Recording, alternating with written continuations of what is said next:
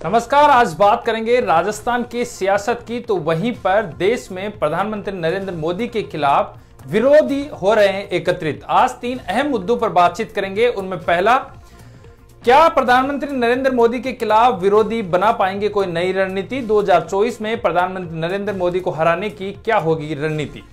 राजस्थान की बात करें तो क्या मुख्यमंत्री अशोक गहलोत सचिन पायलट पर पड़ेंगे भारी?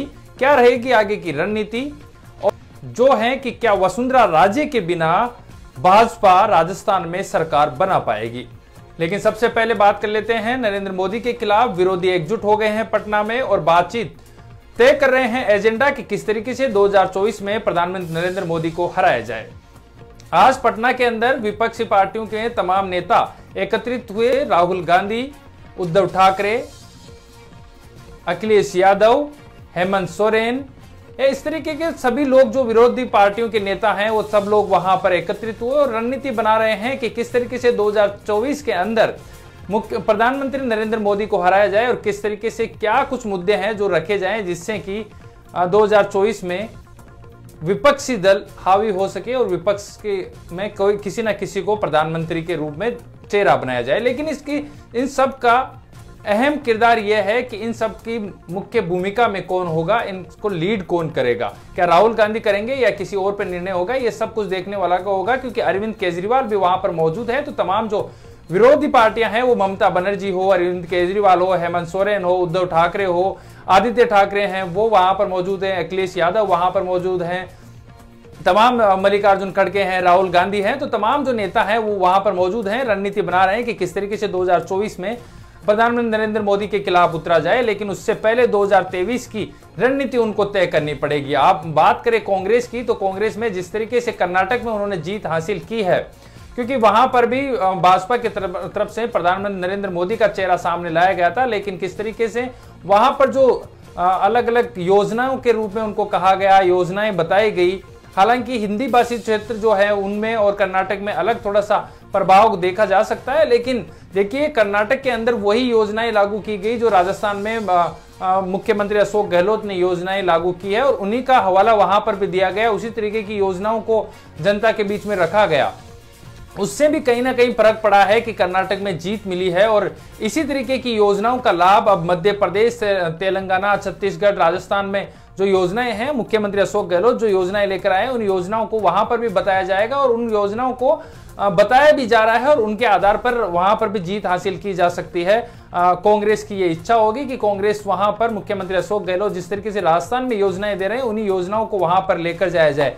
क्योंकि कर्नाटक में जिस तरीके से जीत मिली है तो विपक्ष की सभी जो पार्टियाँ हैं, उनमें एक नया जोश भरा है। क्योंकि एक बुस्टअप मिला है कर्नाटक में जीत के बाद में तो अब उस बुस्टअप को वो आगे लेकर जाना चाहेंगे और आगे भी इसको बरकरार रखना चाहेंगे। देखिए, अब राजस्थान में बात यह है कि राजस्थान में कांग्रेस में बड़ा मनमुटाव चल रहा था। दो धड़े से हो गए थे। मुख्यमंत्री अशोक गहलोत का एक धड़ा था तो दूसरी तरफ़ सचिन पायलट का। लेकिन अहम बात जो अब यह है कि क्या मुख्यमंत्री अशोक गहलोत सचिन पायलट पर भारी पड़ते हुए नज़र आ रहे हैं, क्योंकि सचिन पायलट पिछले कुछ दिनों से शांत बैठे हैं। अब तो ट्रेंड ये भी हो रहा है, क्योंकि उन्होंने ये कहा था कि पंद्रह दिन का अल्टीमेटम दिया था जब उन्होंने पैदल यात्रा की थी, जनसंघर्ष यात्रा अजमेर से। तो उन्होंने कहा था कि रण होगा और पंद्रह दिन में हमारी मांगे मानी जानी चाहिए, लेकिन उसके बाद में अब सचिन पायलट शांत बैठे हैं। तो क्या यह समझा जाए कि तूफ़ान से पहले की ये शांति है? सचिन पायलट के पास अब मुख्य जो रास्ते थे, सभी बंद हो चुके हैं। अब उनके पास एक ही रास्ता है कि किस तरीके से सह सम्मान कांग्रेस पार्टी में रहा जाए और आलाकमान इस पर भी विचार भी करे। क्योंकि जिस तरीके से यदि सचिन पायलट के पास तीन चार ऑप्शन जो पहले थे, कि वो भाजपा में जा सकते थे, कहा जा रहा था कि भाजपा उनको सपोर्ट कर रही है, भाजपा का ये एजेंडा है तो भाजपा में जाने के बाद तो होती भी तो वहाँ पर वो पहले ही भाजपा की बड़ी नेता और पूर्व मुख्यमंत्री वसुंधरा राज्य पर बड़ा आरोप लगा चुके हैं। तो अब ऐसे में भाजपा के अंदर यदि वो जाते हैं तो उनका वहाँ पर सामंजस्य बैठना मुश्किल है, क्योंकि वहाँ पर उनको वही जवाब देना पड़ेगा कि जिस पार्टी की प्रमुख नेता पर आपने जिस तरह के आरोप लगाए आज उसी पार्टी में आप बैठे हैं। तो वसुंधरा राजे से उन्होंने दुश्मनी मोल ले लिए भाजपा में जाने का ऑप्शन अब खत्म होता हुआ नज़र आ रहा है। दूसरी तरफ़ बात कर ले उनकी खुद की पार्टी की तो खुद की पार्टी का वो नकार चुके हैं कि खुद की पार्टी नहीं बनाएँगे। कांग्रेस में रहेंगे तो कांग्रेस में क्या स्थिति रहेगी? क्या दिल्ली में उनको बड़ा पद मिलेगा या राजस्थान में मुख्यमंत्री अशोक गहलोत कोई बड़ी घोषणा करेंगे या आ, बड़ा मन दिखाकर सचिन पायलट को रख सकते हैं? क्योंकि जिस तरीके की स्थिति अभी चल रही है कांग्रेस के अंदर और राजस्थान में, मुख्यमंत्री अशोक गहलोत कह रहे हैं कि मैं खुद के दम पर इस बार सरकार रिपीट करवा करवाऊँगा। क्योंकि उन्होंने ये एक्सेप्ट भी किया है यह भी माना है कि पिछले जो मेरे कार्यकाल थे, उनमें कम्युनिकेशन गैप रहा है। तो इस बार आप देखिए कि वो लगातार हर दूसरे तीसरे दिन जब भी वो फ्री होते हैं तो सीएमआर के अंदर हमेशा लोगों से मिल रहे हैं समाज से मिल रहे हैं, संगठनों से मिल रहे हैं, जो भी लोग उनसे मिलने आ रहे हैं, सबसे वो बातचीत कर रहे हैं, उनसे संपर्क साधने की कोशिश कर रहे हैं। इससे क्या है कि उनको जनता के बीच में जो जुड़ाव है और बढ़ेगा और जो दूरियाँ हैं वो कम हो जाएगी। मुख्यमंत्री अशोक गहलोत की एक अहम बात यह भी है कि इस बार वो जनता के बीच में महँगाई रात कैंपों में जा रहे हैं, नब्ज टिटोल रहे हैं, जनता से बातचीत कर रहे हैं और आम लोगों से जानने की कोशिश कर रहे हैं कि क्या कुछ कमी खामियाँ रहेगी उसको पूरा करने की कोशिश कर रहे हैं। अब आप समझिए कि सचिन पायलट के क्षेत्र में भी जिस तरीके से सचिन पायलट के कामकाज की लिस्ट जारी की है, उनके क्षेत्र में तक काम हो रहे हैं। वेद प्रकाश सोलंकी हो, आज डींग कुमेर में उनकी बड़ी सभा है, वहाँ पर बड़ी घोषणाएँ की है। तो तमाम राजस्थान में जहाँ पर भी जा रहे हैं, और ये महत्वपूर्ण बात देखिए कि सचिन पायलट खेमे से जो आए जो थे लोग, जो विधायक मंत्री थे उनके क्षेत्र में जाकर भी बड़ी बड़ी घोषणाएँ हो रही है। तो इसका मतलब कि सचिन पायलट गुट को भी अब अपनी तरफ़ करने की कोशिश है। मुख्यमंत्री अशोक गहलोत जादूगर यूँ ही नहीं कहा जाता क्योंकि राजस्थान में उनकी जादूगरी लगातार चल रही है। अब अहम बात यह है कि सचिन पायलट के साथ क्या होने वाला है। कल की बात करें तो कहा जा रहा है कि सचिन पायलट की दिल्ली में बड़ी बैठकें जारी है। प्रियंका गांधी के साथ भी उनकी बैठक हुई है। उसके बाद में मल्लिकार्जुन खड़गे के सी वेणुगोपाल सबके साथ में बड़ी बैठकें हुई है। के सी वेणुगोपाल राजस्थान आए जहाँ पर मुख्यमंत्री अशोक गहलोत के साथ साथ ही डोटासरा मौजूद थे और रंधावा।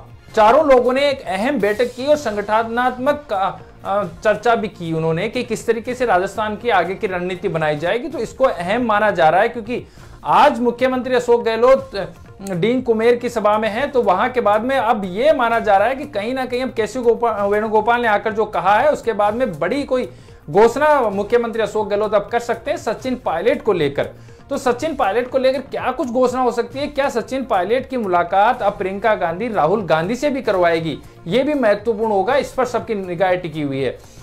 और यदि मुलाकात होगी तो किस तरीके से सचिन पायलट को सम्मान राजस्थान में कांग्रेस में रखा जाएगा? क्योंकि उनकी अब भूमिका अहम है। इस समय ये वो समय है जब एकजुट होकर राजस्थान में कांग्रेस जो कह रही है कि हम रिपीट करवाएँगे, मुख्यमंत्री अशोक गहलोत लगातार दावा कर रहे हैं कि हम रिपीट करवाएँगे तो वो अब सचिन पायलट को साथ लेकर राजस्थान में चुनावी रण में जाए, क्योंकि महज तीन चार महीने रह गए उसके बाद में आचार संहिता लग जानी है और उसके बाद में कोई कुछ होने वाला है नहीं।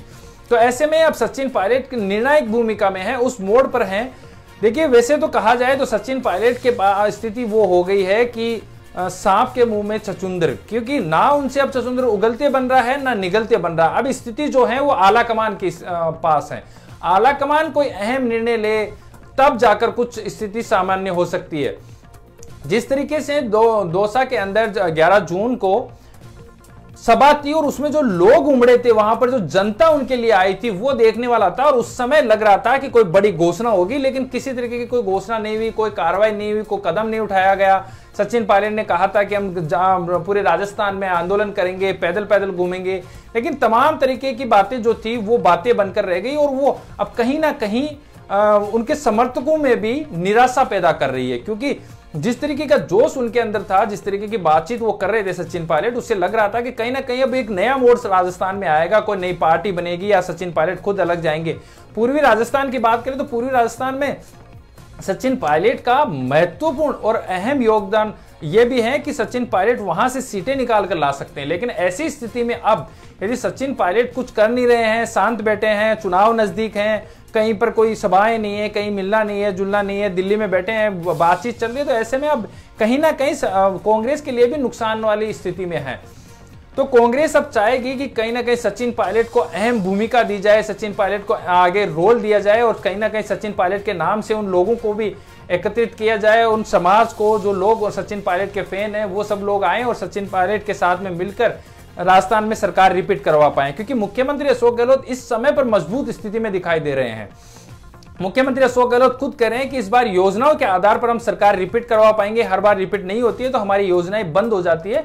इस बार अहम योजनाएँ मुख्यमंत्री अशोक गहलोत ने जिस तरीके से योजनाओं का पिटारा खोला है, दस योजनाएँ जो महँगाई रात कैंपों में लगाई है, बिजली फ्री हो, अन्नपूर्णा पैकेट योजना हो, या फिर जो जानवर हैं, जो किसानों के जो पशु हैं, उनके बीमा की योजनाएँ हो, चिरंजीवी योजनाएँ इस तरीके की तमाम जो योजनाएँ हैं वो लेकर आ रहे हैं और खुद जाकर जनता के बीच में रख रहे हैं। इससे जनता को भी एक विश्वास बन रहा है उनके प्रति कि इस बार अशोक गहलोत कर सकते हैं। अहम इस बार बात यह भी है कि मुख्यमंत्री अशोक गहलोत खुद कह चुके हैं कि जो चुनाव नहीं लड़ना चाहते हैं वो भी सामने आए और कहें। और इसका देखिए नतीजा भी देखिए कि आप जिस तरीके से हेमराम चौधरी है दीपेंद्र सिंह शेखावत है और भी एक दो नेता हैं जिन्होंने साफ़ अभी ये कह दिया है कि हम आगे चुनाव लड़, नहीं लड़ेंगे। हालाँकि बीडी कल्ला ने यह कहा कि मैं चुनाव लड़ूँगा।